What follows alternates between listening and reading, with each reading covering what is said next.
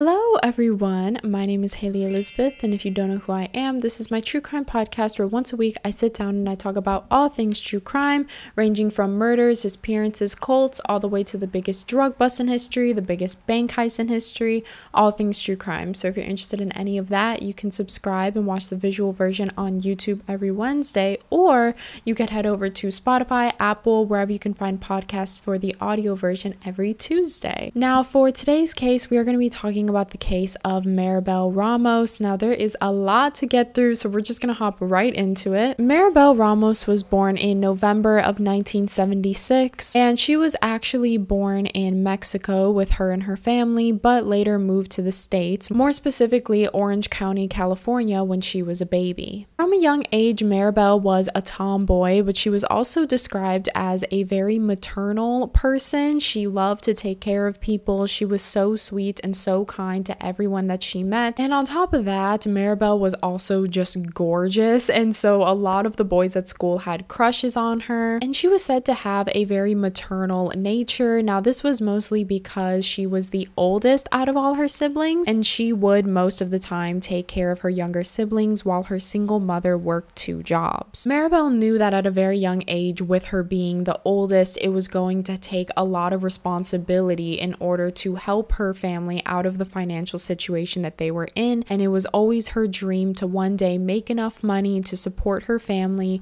and help out her mom so that her mom can spend more time with her kids. And so in high school is when Maribel decided that she wanted to go to the police academy and become a police officer. After high school, she went to the police academy but then became a security guard at a local grocery store and she worked there for a couple years until eventually going into the army in August of 2001. Two years later, in 2003, that is when the Iraq War had started. US forces invaded Iraq in an attempt to disarm their weapons and mass destruction and to end the president at the time, Saddam Hussein, who was in support of things like terrorism, and the US wanted to free the Iraqi people. And during this war, Maribel was actually deployed out to Iraq where she saw a lot of combat. Even after the war, she ended up staying in the army for eight more years, and during those years, she was even deployed out to Afghanistan. That was until eight years later, in the year of 2009, at the age of 33 years old, that's when Maribel decided to leave the army. She, at this point, had worked her way up to sergeant, and so she did have a very high position in the army,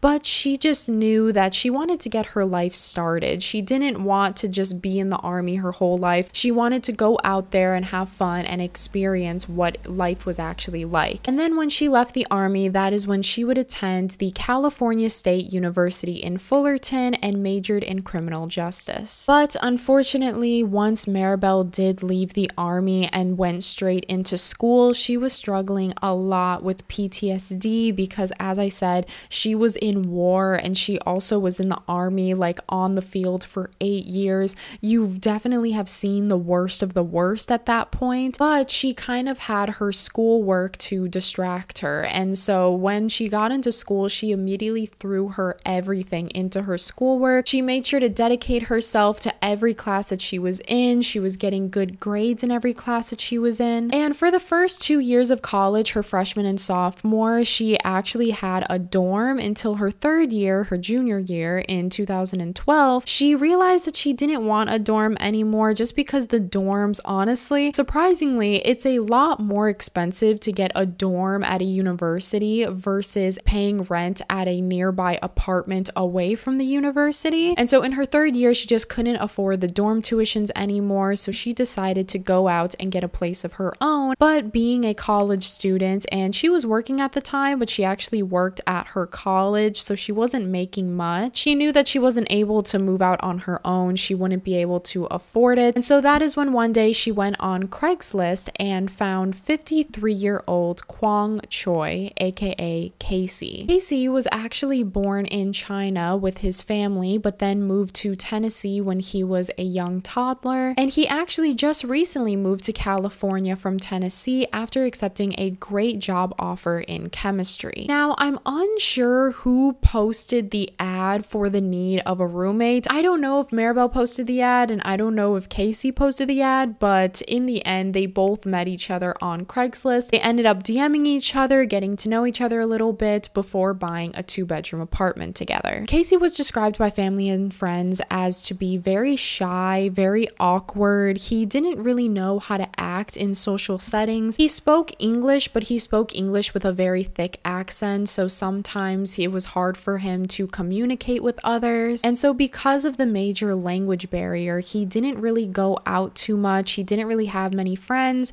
And Maribel, being Maribel, she was kind and sweet to everyone that she met. She saw Casey and she decided to, you know, bring him out of his comfort zone a little bit. So that's when Maribel started to invite Casey to hang out with her friends. She would invite him to have drinks with her friends, to have dinner. She would go and hang out with him, like they would go on walks together and just, you know, bring him more outside of his comfort zone and get to know him a little bit more. And the following year, in May of 2013, Maribel's life started to really look up for her. At this time, she was finishing up her final year in college, so she was about to get her degree soon. And on top of that, she also had some really, really amazing internships lined up for her post grad. At the time, she wasn't really in a serious or dedicated relationship, she was more just kind of dating around, so her love life was even exciting. Maribel really wasn't seeing anyone exclusively. She's in her 30s, you know, so she's just kind of having fun, dating around, looking into the love scene. And as far as Casey and Maribel's relationship, as I said, Casey is 53 years old, and at the time, Maribel was 36 years old.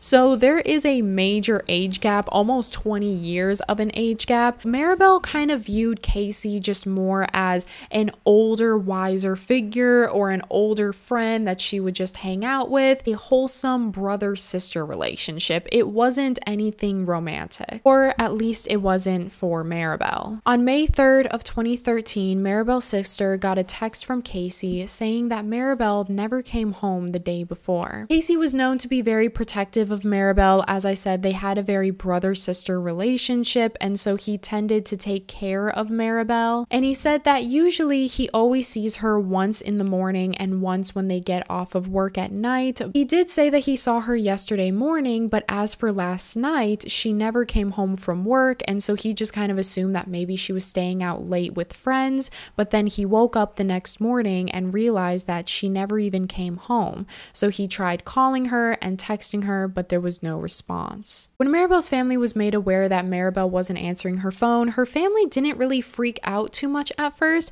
because, as I said, Maribel is a strong, independent woman. She has been in the army for eight years. Like, she is definitely a woman who can take care of herself. So they weren't really worried about her. They were just like, oh, maybe she lost her phone. But it wasn't until later on that night, Maribel was actually a part of a local softball team and they had games every weekend, which Maribel never ever skipped a game. And if she did, she was always really good about telling them if she was going to be off that day or if she was going to be late. But it really, really concerned the family when later on that night, when the softball game came around, Maribel never showed up and never called. So at this point, that's when the family decided to call the police as well. They called the police, and the following day, missing persons posters were being posted up all over the town, all over online. Search teams were going out. There was a lot of news and media coverage on the case as well. So the police start investigating this missing persons case and they go over to Maribel and Casey's apartment. And right off the bat, the police are noticing some really odd things. Before they even walk into the apartment, they find that Maribel's car is still parked in the driveway. But even weirder, when the police go inside the apartment and they start looking around, they find that Maribel's phone and keys are gone, but her other important things like her purse, her wallet, her identification is still all there. And so immediately the police are just seeing things that are not adding up. How is it that her keys are gone, but her car is downstairs in the driveway? And how is it that her phone is gone, but her wallet is still here? First, police were just assuming that maybe Maribel had run away, but this told them that this was definitely not just her running away. This was gonna be a lot more than that. Family, friends, and even Maribel's school all tried to aid in the help for the search of Maribel. But no matter how hard everyone looked, there was truly just no sign of Maribel. Police got into all of the security cameras within the area and they didn't find Maribel on any of them. They tried to get witness statements, they tried talking to friends, talking to family. They even sweeped for fingerprints or footprints, but they couldn't find anything. It was simply as just Maribel had vanished. That was until the police started to look into the security footage of the apartment building. The only cameras they had in the building was guarding the front, guarding the back, and guarding the manager's office. They find that on May 2nd, the night before Casey had called Maribel in missing, Maribel was seen on camera going up to the manager's office with a white envelope, sliding that envelope inside of the door, and walking away. And it was later confirmed that this envelope was actually her rent money. In the footage, she's seen wearing her pajamas and the envelope. She doesn't seem to be holding her phone or her keys anywhere. She's also wearing very loose fitting pajamas as if she just came from her apartment. And this was probably one of the biggest pieces of evidence so far for the police because if you remember from earlier, Casey said on the police phone call that the last time he saw Maribel was the day before in the morning. And then when he got home from work, he didn't see her at all at night. But this security footage was taken at 8:20 p.m. So clearly Casey was lying. And on top of that, she's wearing pajamas that she most likely got from her apartment and she was most likely walking back to her apartment. But before jumping into conclusions and trying to accuse Casey, they decide to interview other suspects first, starting with Maribel's boyfriend, Paul Lopez.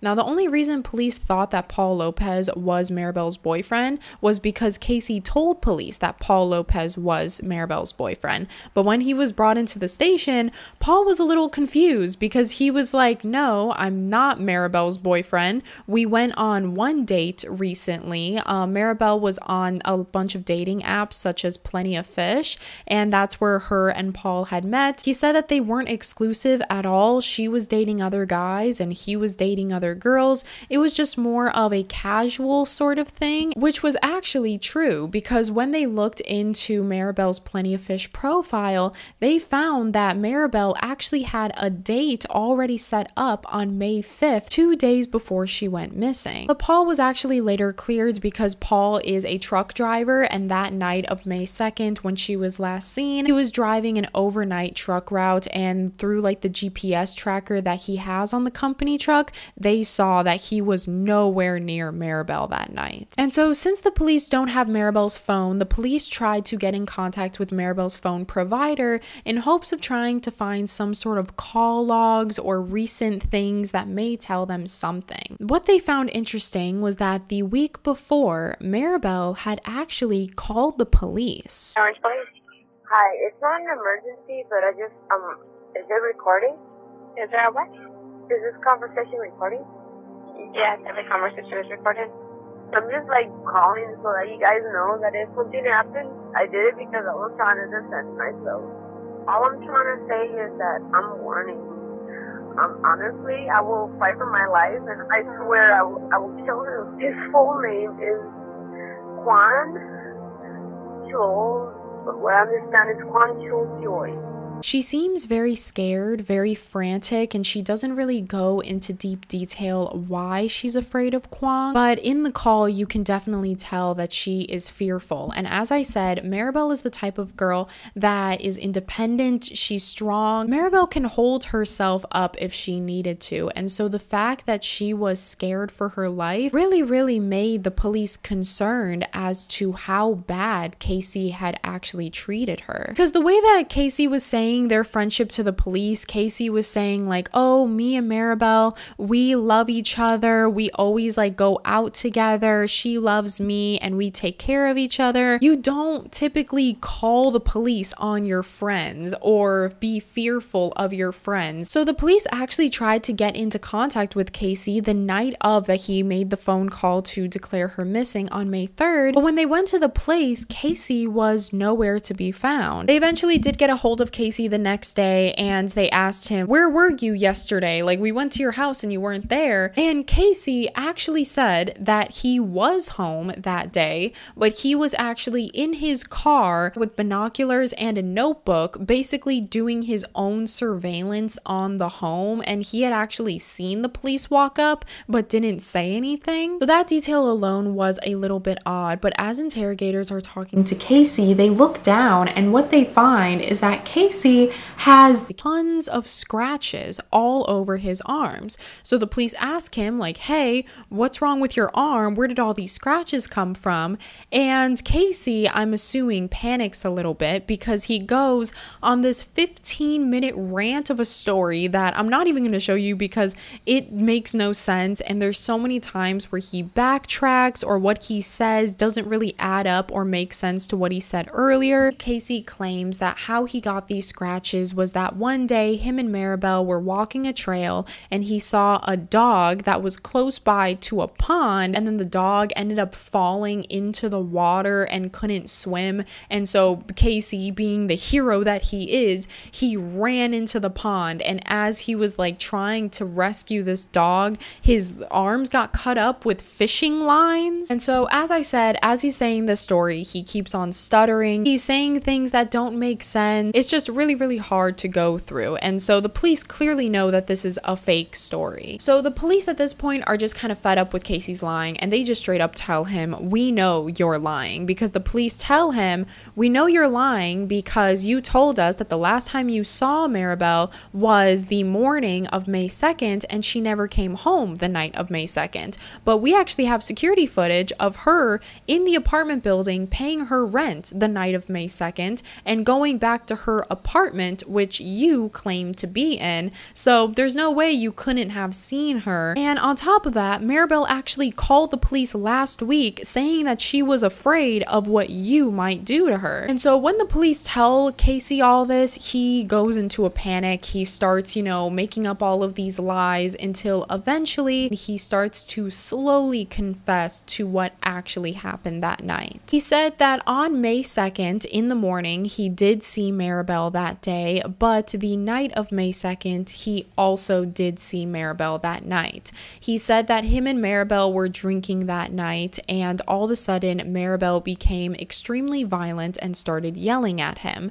The two of them got into an argument over rent because recently Casey had lost his job and Maribel was covering his portion of the rent, which made Maribel extremely mad because it's not her responsibility to be paying his rent. And this started a huge argument between the two, or Maribel had took her rent money, stormed out. He went into his room, locked and shut his door, and just went to sleep. He said the following morning, when he didn't see Maribel, he got kind of concerned because he thought that maybe she ran away in the middle of the night. Maybe she went out to go clear her head because of the fight and accidentally got lost. So that is when he tried to call her, text her. He got no response. He started to get a little worried. So he called the police and then called Maribel's sister. Now, this is just what Casey told police. What police later found out, what was the real reason that Maribel was mad at him. At night, it was true. They both did get into an argument. Whether or not they were drinking, we have no clue.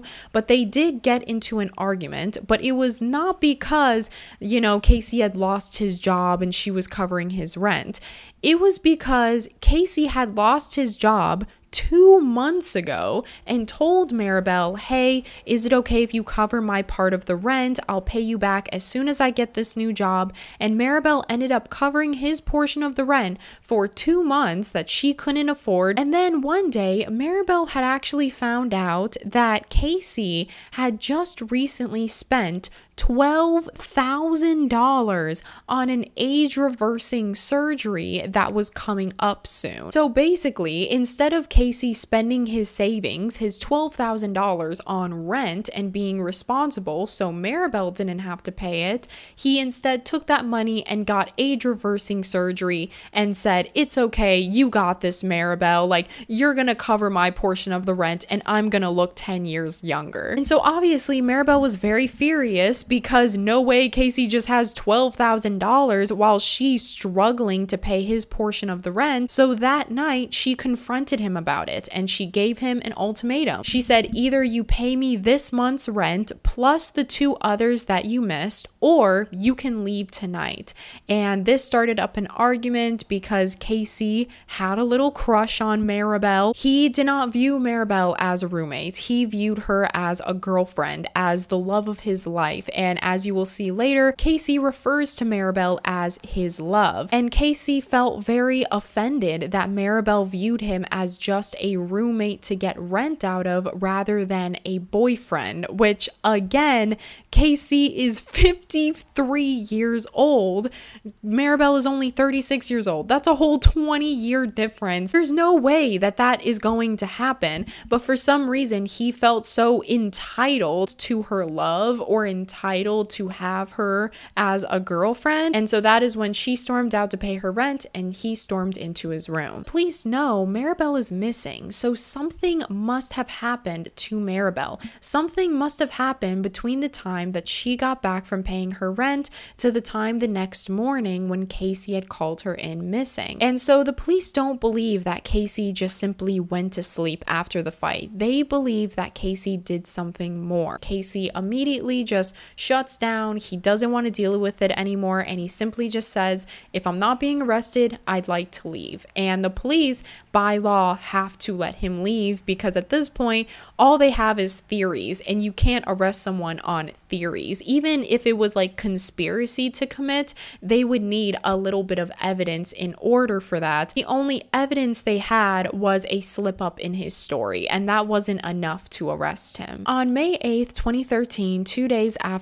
Casey and the police had their interrogation, Maribel's friend Emily was actually posting on a bunch of Yelp reviews of like different bars and stores in Orange County, a bunch of places that Maribel frequently went to. Her friend Emily was posting on a bunch of Yelp reviews saying, quote, my friend Maribel Ramos has been missing since Thursday, May 2nd. She was last seen at her apartment in Orange County, California. Please help her family, friends, and I to find her. If you have any information as to her whereabouts, please call Detective Ramirez or Orange Police Watch Commander.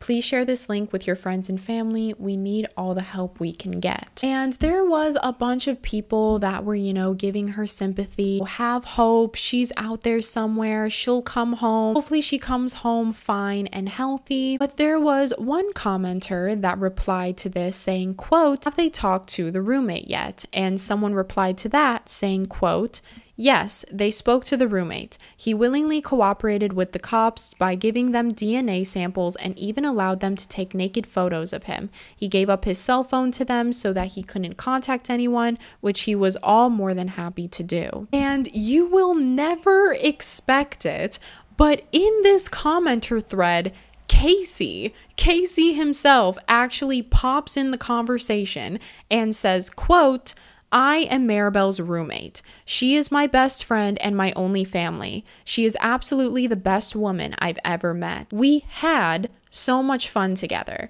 I miss her so much. She always knew that I will give my life for her without any hesitation. Police forensic team searched this two bedroom apartment five times with the police dog. They confiscated computer, hard drive, cell phone, car, and took several items. They contacted everyone on my phone list, and I don't know when I will get my properties back. These are major inconveniences, but all these don't matter. I miss Maribel. That really makes me depressed and stressed out big time. I also want to point two things out real quick. Casey's profile picture is actually of him and Maribel, as if to like insinuate that the two were dating. And Casey actually made his account back in 2011 and it's currently 2013. So he didn't just make this account to post this comment. I thought I should mention that before moving forward. And underneath Casey's comment, he was receiving a lot of sympathy. A lot of people were saying how sorry they were for him and like, I know this must be hard on you and I'm so sorry you have to go through this. But there was one Yelp commenter that kind of called Casey out a little bit. Am I the only one finding it odd that this Casey roommate posted here and used past tense to refer to Maribel?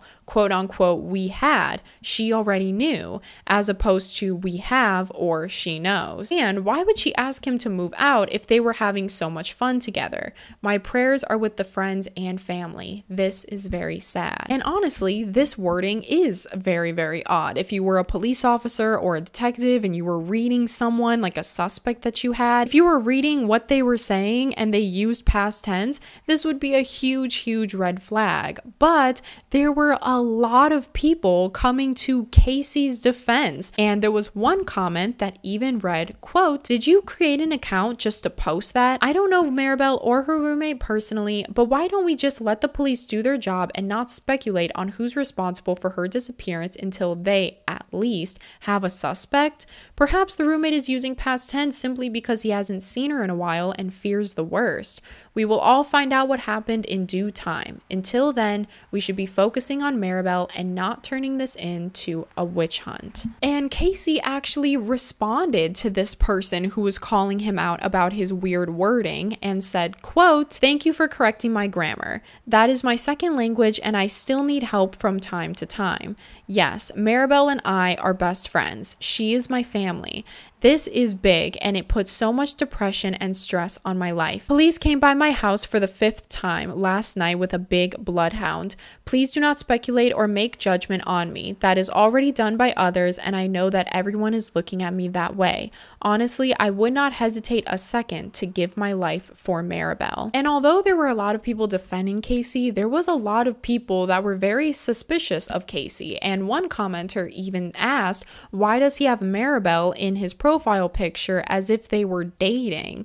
And he says, quote, my profile photo. I did it because I miss her. That is one from one night we went out. I don't see anything wrong with putting a photo with your friend and or one you love. There was also a candle visual that was being held for Maribel and Casey actually attended the candle visual and someone saw him there and said, quote, Casey, I saw you at the visual. Why did you sit far away at a distance? Why are you uncomfortable? And he replies with, quote, one of Maribel's family members asked me why I was there, also a verbal threat when I was there. I was uncomfortable that the police and or police are assuming or insinuating that I am a suspect. Police and family are assuming that. I understand that we are all concerned about her, especially I am more than anyone else. Yes, she is my only family and I will give my life for her. Is that love? People can assume all they want and express their opinions. And after that, it seemed like the conversation with Casey was done because after that, no one really started to talk about Casey in the thread. Everyone was just kind of giving their condolences to Maribel and trying to figure out where she was and if there's any updates on her. And now at this point in the thread, since no one's really talking about Casey, Casey pops back into the thread and just talks about his life insurance policy and he says, quote, I said, Maribel is my only family and best friend. She is. She is the only beneficiary for my $250,000 life insurance and only beneficiary for my bank account paid upon death. She knows this. I miss her every second I am awake sad face emoji. And so that was kind of odd, kind of random because literally who asked, why do we need to know that she was your beneficiary? Why do we need to know the exact amount of your life insurance policy? And so someone ended up calling him out on this weirdness and saying, quote, this is not an accusal, just a personal observation. My condolences firsthand. Casey, you need to be more careful about the kind of content you are posting, where you are posting it, and the audience that you are dealing with. In this case, it would be very personal information posted on the internet to complete strangers who do not really know the entirety of the story and have no obligation to come to your defense. I hate to point this out, but the stuff you write makes you susceptible to doubt. I don't see a reason for posting up information about life insurance and bank account beneficiaries. Paid upon death, she knows this, etc. Statements of only family and love for a roommate. You may be outraged that I'm pointing this out, but I am showing you what an uninvolved third party may think of your statements and process of posting. Rant at me if you wish. I understand the need and desire to defend your reputation as well as your concern for your missing roommate. Just be more careful about who and how you are asking for help. And Casey actually responds to this comment, and all he says is, quote, Thanks for the good advice. I just can't think straight these days. Police at this point are running out of options. They have talked to everyone in Maribel's life every ex boyfriend, every friend, every family member, every person that may or may not have liked Maribel, but there was absolutely no leads. And the only suspect they had left was Casey. But it was just extremely hard to convict Casey because they had absolutely nothing on Casey. It was true that what Casey said in the Yelp reviews, the police went to his house five times with search teams, with bloodhounds. They confiscated his cell phone, his computer, his car. They scanned everything for fingerprints, scanned all of his history, and there was absolutely nothing on there. They couldn't find anything suspicious or any sort of insinuation that maybe Maribel and Casey had a rocky relationship, or maybe Maribel didn't like Casey. They couldn't even find anything wrong with the apartment. They found no blood, no dents, no odd scratches. And so, since everything came back completely normal, the police started to doubt themselves a little bit and think, well, maybe Casey actually is innocent. There was still so many unanswered questions as to why Maribel's keys were gone, but her car car was still in the driveway. Where even is Maribel's phone and keys when in the security footage of when she was last seen, she had nothing in her pocket? Why did Maribel call the police the week before saying that she was scared of Casey? The police just knew that Casey had something to do with this, but he was just doing a really good job at covering it up. So that is when they sent out a team to follow Casey and try to figure out his daily routine, where he went, and what they noticed is that Casey actually spent a lot of time at the public library, more specifically, using the public library computers. So one day when Casey was using the public computers at the library, a undercover cop went in and decided to sit behind Casey to kind of peer over his shoulder and see what he was looking at. This undercover cop physically saw Casey type in, Can a cell phone be traced if it's turned off? And so after this, the police knew that there was something going on. They knew that they had a possible lead. And so the next day, they got a warrant from the library in order to access the computer that Casey was using and kind of look at Casey's screen in live time from a van outside. In the beginning, when he was using the computer, he was just doing normal things. He was checking his email, he was submitting a few applications for jobs until randomly Casey goes to Google Maps and types in a very very specific address, he types in 8548 Peters Canyon Trail in California, which is basically a trail in what seems to be like the middle of nowhere. Then, as Casey is looking at this address, he starts to zoom in on a very specific part of this forest and he's going in, he's zooming in, he's changing like the views to where it's like satellite version, just kind of investigating that one portion portion. And when the police saw that, they got a really, really dark feeling about this. So the police went out to that address and they went out to the specific spot that Casey was zooming in on. And there they would find the dead body of 36 year old Maribel Ramos. It was said that Maribel's body must have been there since May 2nd, the night that she went missing. So at this point, her body was badly decomposed after the past eight days when she was found, and on top of that, the animals had actually gone to her as well. Casey was found that day and arrested, and weirdly, when he was arrested, Casey was actually found wearing Maribel's dog tags that Maribel actually always wore. Casey's trial began in 2014 and he pled not guilty. Unfortunately, the cause of Maribel's death couldn't be determined because, as I said, her body was very badly decomposed. And although the police police didn't really have much physical evidence against Casey, it was very obvious that Casey did have something to do with this. Casey didn't have a straightforward story to combat any suspicion off of him. And one of the main reasons why people pointed fingers at Casey was because it's very, very common in a lot of murder cases for the murderer to return to the scene of the crime as if to sort of relive that moment again. And they believe that this is what Casey was doing when he looked at the location on Google Maps.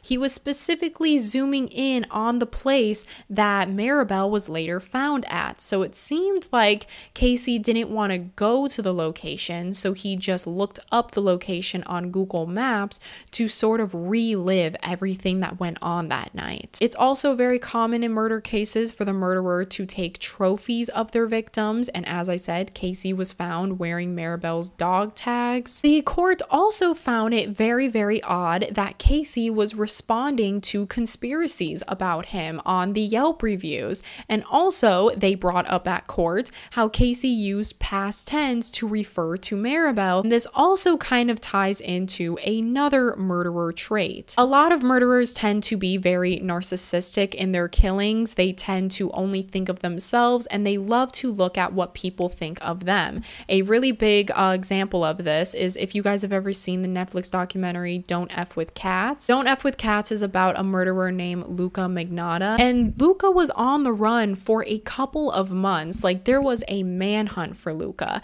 And the only reason the police found Luka was because he was at a local internet cafe looking at articles about himself and about the murders that he convicted and all of like these search teams that are coming out to find him. And that's how he got caught. And in this same situation, Casey was reading things about himself and that's how he got caught. He decided to reach into it, he decided to engage, he soaked up all the sympathy that he could get. And then when people weren't talking about him anymore, he randomly pops in with beneficiary information to hopefully get a reaction out of people again. Now, as far as Casey's defense to all of this, Casey didn't really have much of a defense because what can you even say to this? Casey did have one defense, and it was to when the police were looking at Casey's computer from outside, Casey said that he actually wasn't the one that looked up that address and zoomed in on that location. And it was actually a hacker that did all of that. He said that at the same time the police were looking at the computer, a hacker who just so happened to be the murderer hacked into Casey's computer, zoomed in on that specific location in order to frame Casey, which the court completely just laughed at. Like, that is not even a theory at all. There's no possible way that could happen. What the police believed actually happened was that night when Maribel and Casey got into an argument over rent. Maribel did storm out of the place, pay her side of the rent, but then when she got back to the apartment, that is when she was attacked and killed by Casey. They believe that the reason Casey got so angry with Maribel is because he had a very, very scary crush on Maribel. He couldn't fathom the fact that Maribel didn't view him in the same way that he viewed Maribel, which again, it's not Maribel's job to like him or have interest in him. If she doesn't, that should be the end of that.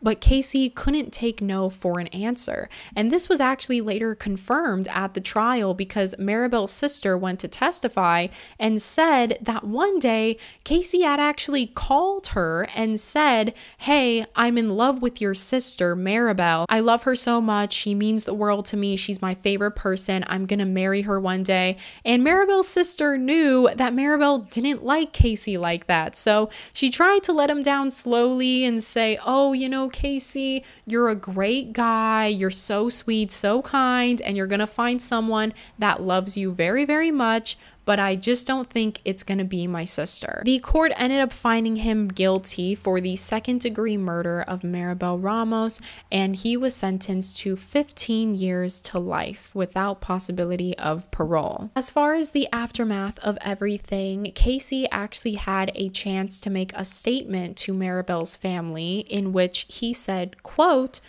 her family wants me to apologize, which I cannot apologize for something I haven't done. I miss Maribel more than anyone. I think about it. I've been in here for 440 days in this cell. I think about her almost every day. Maybe someday the truth will come out. Maybe I'll just die inside this prison. And even after he was convicted, he had wrote dozens and dozens of letters to the judge asking him to have mercy on him, to release him from prison. He even wrote dozens of letters to the ABC Eyewitness News and tried to get the news media to cover his story and try to get him out of prison. He denies everything. He denies that he had anything to do with Maribel's death, and he still preaches innocence, which I think is extremely disrespectful. I think it's disgusting. I think it's terrible that he doesn't even at least give the family closure on what happened. And I absolutely hate when he says things like, I am the one who is the most sad here, or I am more sad than everyone else. And out of everyone, out of Maribel's family, out of her friends, he is the one that feels the worst. And I hate that. I hate that he's comparing his grieving to other people's grieving. I hate that he makes it a competition. But because he still pleads innocence, to this day, we still don't know what happened to Maribel. It's believed that he could have strangled her because there was no gunshots that were heard, there was no screaming. Yeah, even to this day, and as we're speaking right now, Casey is in prison in California serving out his life sentence. But as I said, he got 15 years to life. So there is a possibility that Casey might be out in 2029. As far as Maribel's softball team, as I said, Maribel was a part of a softball team. They shortly after everything had happened, after Maribel's body body was found, they actually did a charity game in order to help Maribel's family fund all of the funeral costs and their lawyers. But yeah, that is the end of today's case. If you guys found this case interesting, make sure to give it a thumbs up and subscribe if you're on YouTube or if you're on Spotify, Apple, wherever you can find podcasts. Make sure to rate it five stars because that really helps me out a lot. If you want to follow me on any of my socials, like my Instagram, that will be linked down below, as well as my P.O. Box if you want to send me anything. And I would love to hear what you guys think about the case in the comments below. Do you think Casey should have gotten a life sentence, or do you think that 15 years to life is a good sentence to have? Do you think Casey should be released after 15 years, or do you think he should live the rest of his life in prison? Or do you even believe that Casey had anything to do with this? Do you think that Casey's telling the truth, or do you think he's clearly lying and he definitely had something to do with it? But yeah, that is all from me. I hope you guys have a wonderful rest of your day. Make sure to go outside today, get some fresh air, be safe out there. And as always, I love you, I love you, I love you, and I will see you guys next week. Bye.